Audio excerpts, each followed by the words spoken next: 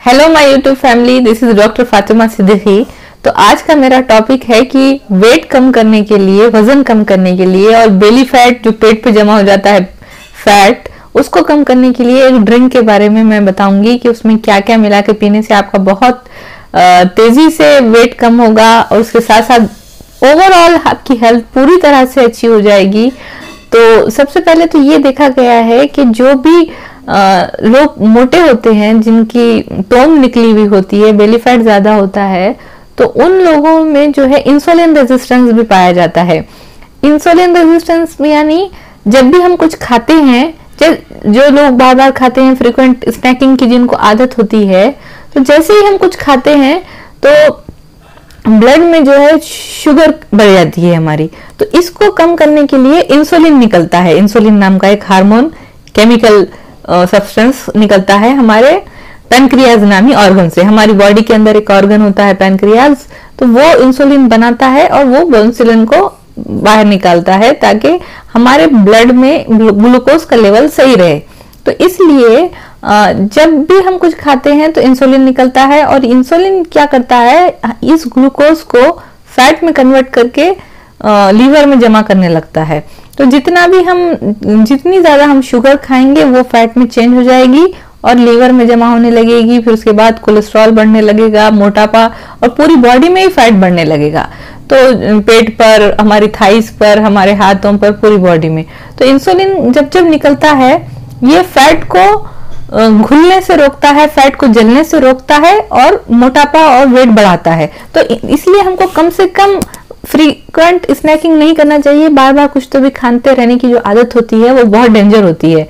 तो इसलिए हमको अगर वेट कम करना है तो हमको फास्टिंग यानी उपवास रखना, रोज़े रखना बहुत ज़्यादा फ़ायदेमंद होता है। उसके साथ साथ इसको कहते हैं intermediate fasting with keto diet अगर आप रोज़े रख रहे हैं फास्टिंग कर रहे हैं, कुछ भी खा पी नहीं रहे हैं, और उसके साथ साथ अगर आप लो कार्बोहाइड्रेट डाइट इस्तेमाल कर रहे हैं, यानी जिसमें मैदा ना हो, शुगर ना हो, मिठाइयाँ ना हो और उसके बजाय ज़्यादा सलाद आपको खाना चाहिए और हेल्थी प्रोटीन खाना चाहिए, जैसे कि चिकन वगैरह है, वो भी और नट्स हैं, जैसे कि बादाम, अखरोट वगैरह, वो भी एक हद में खाना चाहिए, क्योंकि उसमें भी कैलोरीज होते हैं।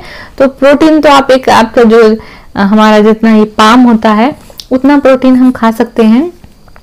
तो आपको इंटरमीडियंट फास्टिंग करना है यानी आपको अपना फास्टिंग के अवर्स यानी इतने घंटे आपको बढ़ाते जाना है। चौबीस घंटे का दिन है तो उसमें से आप 16 से 20 घंटे कुछ ना खाएँ। चार घंटे जो बचे हुए हैं बीच के उसमें ही खाएँ। जैसे आप ब्रेकफास्ट स्किप करते करते लंच को एक बजे करने लगे फिर दू, दूसरा खाना छह बजे फिर उसके बाद आप कुछ नहीं। भी एक बजे को भी आप कम करते करते एक ही मील अगर आप दिन में ले रहे हैं उसको कहते हैं वंस वन मील अडे तो वन मील अगर, अडे अगर आप लेने लगेंगे और बहुत ज़्यादा सात से आठ कप आप सलाद इस्तेमाल करेंगे। जैसे कि सलाद में होता है प्याज, खीरा, टमाटर और क्रूसीफेरस वेजिटेबल्स जैसे कि पत्ता गोभी, फूल गोभी, शिमला मिर्च, ब्रोकली ये सारी चीज़ें हेल्थ के लिए बहुत ज़्यादा फ़ायदेमंद होती हैं। सलाद खाने से आपको विटामिन और मिनरल्स मिलते हैं, जिसकी वजह से केटो डाइट का नुकसान नहीं होता। हेल्थी केटो जिसे कहते हैं, यानी आप कार्बोहाइड्रेट को कम करेंगे और प्रोटीन को ज़्यादा करेंगे और साथ साथ सबसे ज़्यादा आपको बढ़ाना है वेजिटेबल्स और सैलेड को।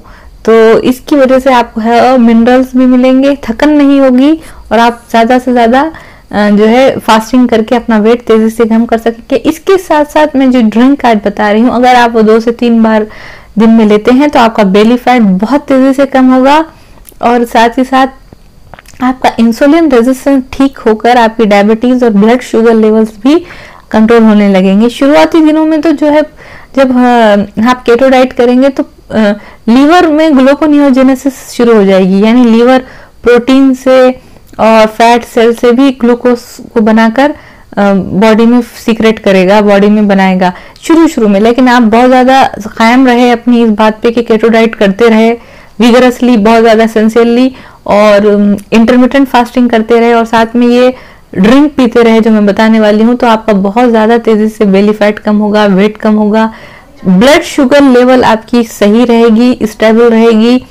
आपका डायबिटीज़ कंट्रोल में आ जाएगा, आपकी इंसुलिन रेजिस्टेंस जो कंडीशन पैदा हो जाती है डायबिटीज़ में, वो ठीक हो जाएगा। क्योंकि जैसे ही हम रिफाइंड कार्बोहाइड्रेट जैसे कि मैदे से बनी हुई चीज़ें खाते हैं, जैसे कि समोसे, कचौरी और ब्रेड जो वाइट ब्रेड खाते हैं, वो बहुत ज़्यादा नुकसानदेह होता है क्योंकि उसमें मैदा होता है, वो ना खाएँ।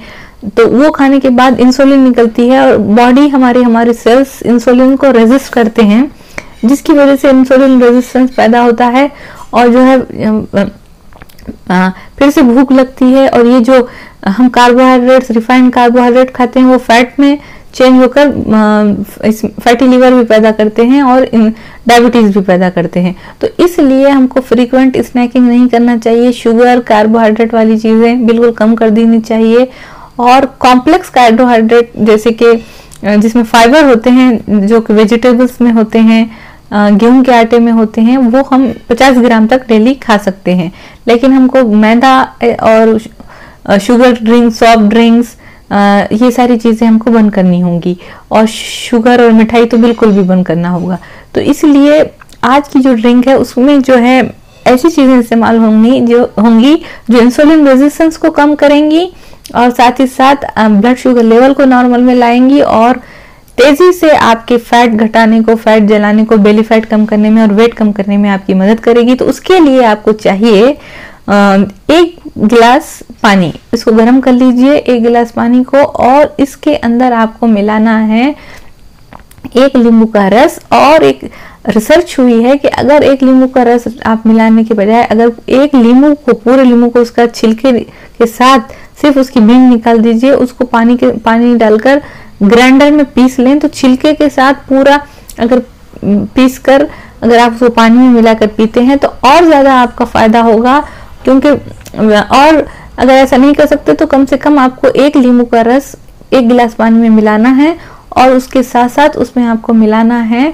दालचीनी का पाउडर, एक चुटकी और उसके साथ साथ आपको मिलाना है दो चम्मच एप्पल सीडर विनेगर इसको अच्छी तरह से मिक्स कर लें और दो से तीन बार आपको ये ड्रिंक पीना है।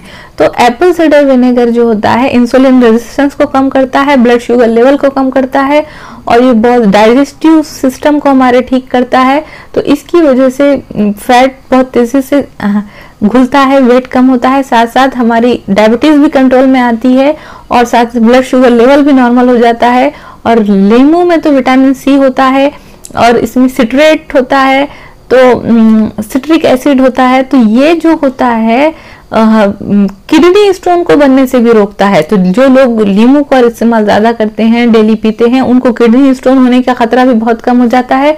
साथ ही साथ उनके बॉडी के अंदर इन्फ्लेमेशन कम होता है और इन्फ्लेमेशन कम होने की वजह से जो है डायबिटीज़ का खतरा भी कम होता है जॉइंट पेन का खतरा कम होता है। तो ये तीनों चीज़ें एप्पल साइडर विनेगर दालचीनी का पाउडर और लीमू। ये तीनों चीज़ें हमारी बॉडी में इन्फ्लेमेशन को कम करती हैं और इन्फ्लेमेशन को कम होने की वजह से डायबिटीज़ का खतरा बहुत कम हो जाता है। जहाँ भी इन्फ्लेमेशन ज़्यादा होने लगता है तो डायबिटीज़ का खतरा होता है। उसके अलावा जो है अथेरोस्क्लोसिस यानी क्लॉटिंग का भी खतरा बढ़ जाता है। जब इन्फ्लेमेशन होता है तो ये चीज़ें जो क्लॉटिंग का खतरा कम करके हमारे खून की, जो ब्लड की, खून की नालियाँ होती हैं, जो दिल को खून पहुंचाती हैं तो उनमें अगर इन्फ्लेमेशन हो जाए तो जो है वहाँ पर हार्ट अटैक का खतरा भी बढ़ जाता है। तो ये चीज़ों की वजह से आपकी हेल्थ बहुत अच्छी रहेगी। हार्ट अटैक का खतरा भी कम हो जाएगा इन्फ्लेमेशन पूरी बॉडी से कम होगा तो और कैंसर का खतरा भी कम होगा, क्योंकि कैंसर भी इन्फ्लेमेशन से ही शुरू होता है। तो जहाँ, और जहाँ इन्फ्लेमेशन होता है, वहाँ वो तेज़ी से फैलता है कैंसर तो ये सारी चीज़ें ज़िंदगी को बचाने के लिए, ज़िंदगी को आपकी सही करने के लिए बहुत ज़रूरी है। क्योंकि जहाँ भी वेट बढ़ता है, वज़न बढ़ता है तो उसके साथ साथ वहाँ पर डायबिटीज़ का खतरा बढ़ जाता है, वहाँ पर हार्ट अटैक का खतरा बढ़ जाता है, वहाँ पर मेटाबॉलिक सिंड्रोम का खतरा बढ़ जाता है, वहाँ पर कैंसर का खतरा बढ़ जाता है फैटी लीवर का खतरा बढ़ जाता है तो ये ड्रिंक पीने से आपका वेट कम होगा और आपकी ज़िंदगी एक सही ट्रैक पर आ जाएगी और जान बचेगी लोगों की। तो इस वीडियो को प्लीज़ प्लीज़ लोगों के साथ, अपने फैमिली के साथ, अपने रिलेटिव्स के साथ, अपने फ्रेंड्स के साथ शेयर करिए और इन सारी चीज़ों को आम जानकारी लोगों की बढ़ाने के लिए इसको इस वीडियो को ज़्यादा से ज़्यादा शेयर करिए।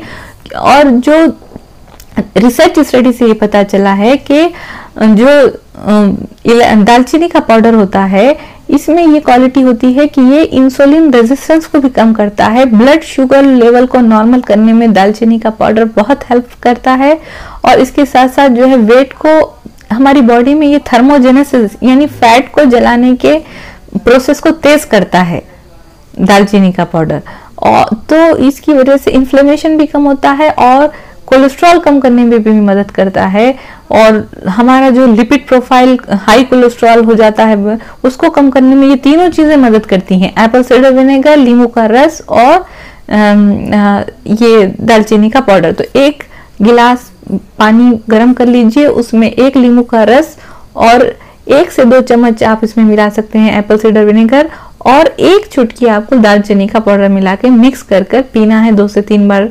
तो और इसके साथ साथ आपको केटो डाइट भी करना है इंटरमीडियंट फास्टिंग भी करना है। तो इससे बहुत ज़्यादा तेज़ी से आपका पेट पे जमा हुआ फैट कम होगा बेली फैट कम होगा वेट पूरा वज़न आपका कम होगा और इसके साथ साथ आपके स्किन भी ग्लोइंग हो जाएगी। विटामिन सी होता है लीमू में, जिसकी वजह से स्किन ग्लोइंग होती है। और हमारी स्किन में जो इलास्टिसिटी और कोलाजन प्रोडक्शन का भी तेज होता है और विटामिन सी जो होता है, इसमें इम्यूनिटी पैदा करता है हमारी बॉडी में। यानी बीमारियों से लड़ने की हमारी क्षमता को बढ़ाता है, इसलिए आप की ओवरऑल हेल्थ के लिए बहुत ज़्यादा अच्छा है। तो ये वीडियो अगर आपको अच्छा लगा हो तो शेयर करिए कमेंट करिए और मेरे चैनल को सब्सक्राइब करिए। थैंक्स